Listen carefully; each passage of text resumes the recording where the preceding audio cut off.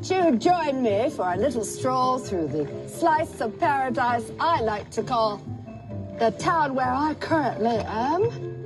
If heaven had a creek, it would be this one.